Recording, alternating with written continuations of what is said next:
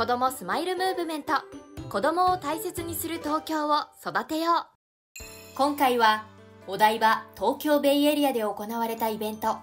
スシテック東京2024にて開催された子どもスマイルムーブメントのワークショップをご紹介します。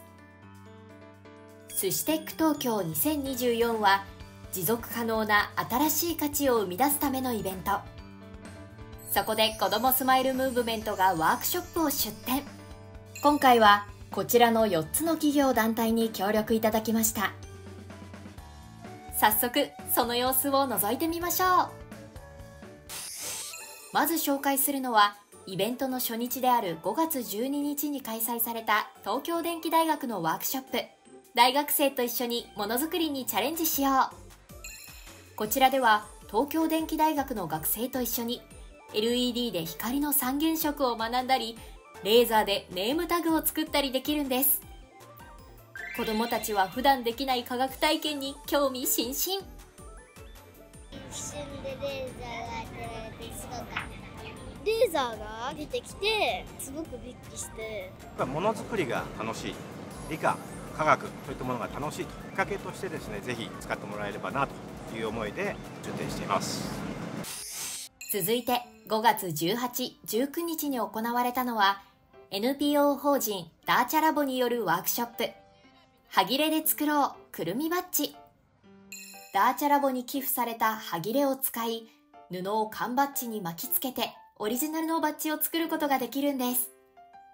世界に一つだけのバッジを作るために子どもたちは真剣に作業に取り組みます。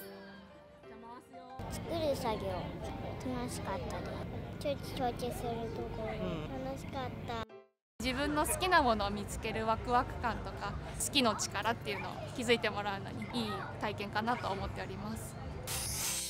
続いては5月25日に開催された株式会社キッズスターのワークショップ。こちらでは子ども向け社会体験アプリごっこランドのお弁当屋さんごっこの内容が体験できるんです。お弁当の容器に自分たちでシールを貼り付けて子どもたちは個性的なお弁当を作るのに夢中。うまく作って可愛く作る楽しかった。弁当をいろんなの置いて作るの。楽しかった。食べ物に親しんでもらって食育的な観点もありつつ楽しみながらごっこランドだったりお弁当というところに触れていただきたいなという思いで作らせていただいてます。最終日の5月26日は NPO 法人着物和服の浴衣でお台場散策。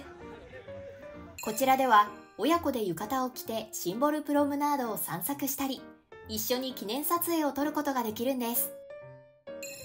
初めての浴衣で気づくことも。してみてどう？結構ザラザラ。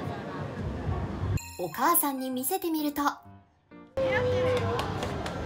初めて来ました。